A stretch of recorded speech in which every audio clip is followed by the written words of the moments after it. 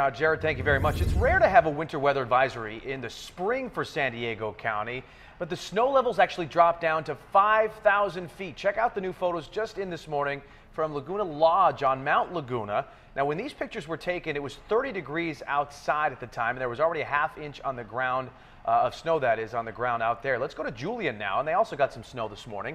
The last time we had snow in May back in 1999, and look at this. Now, if you're heading up to the mountains, you're going to have to make sure you check the road conditions before you go on 10news.com, and you can do that under the traffic section of our website. You know, 10 News